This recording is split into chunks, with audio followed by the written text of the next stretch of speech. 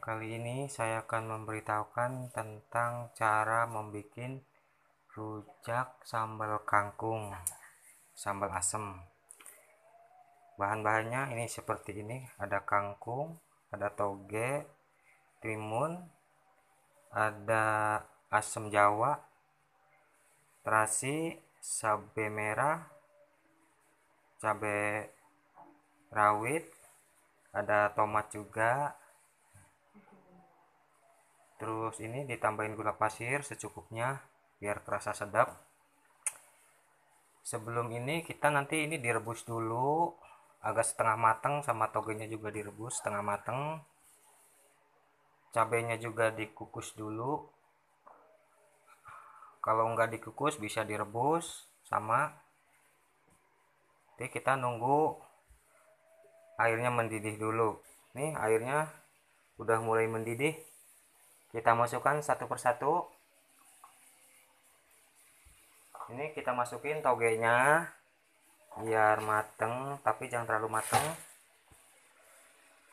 Kita aduk biar rata matangnya seperti ini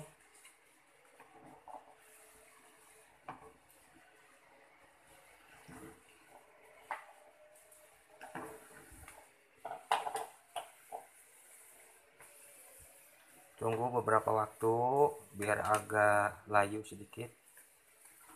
Nih. Cara memasak toge. Kita angkat togenya. Kita pisah supaya kering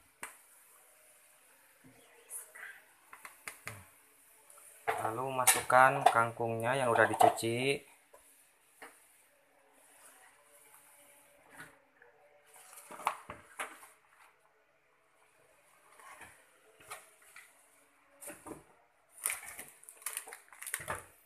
Kita kasih garam biar kelihatan tidak berubah warnanya.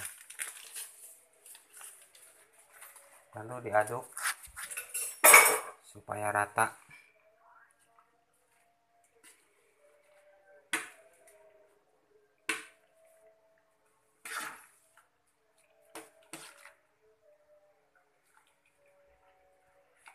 ya diamkan beberapa waktu.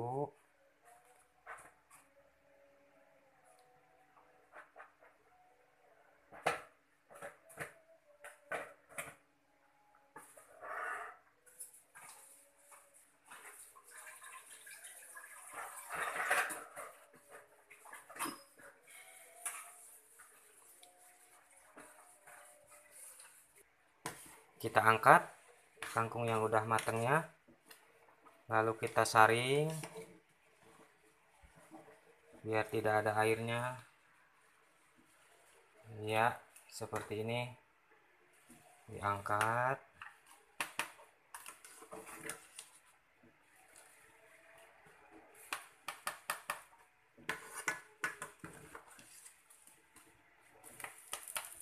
Nah lalu tiriskan. Kita masukkan satu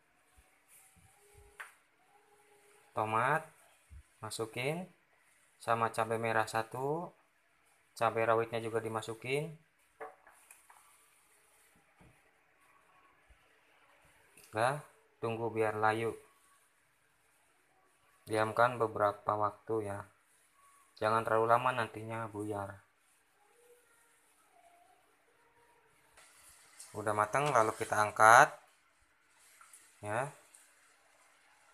kita tiriskan biar kering.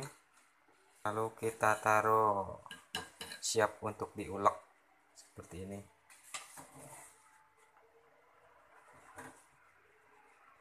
Ini bahan-bahan yang udah direbus seperti ini.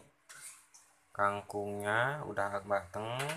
Toge udah matang sama mentimun udah matang tinggal siap dihidangkan. Kita jangan lupa ini diulek dulu dicampurin dulu biar rata diuleknya kita ulek dulu ya. Nih bahan udah jadi udah diulek. Sekarang tinggal siap untuk dimakan. Jangan lupa ya like sukanya juga subscribe-nya biar tidak ketinggalan resep-resep dari saya selanjutnya. Nih udah jadi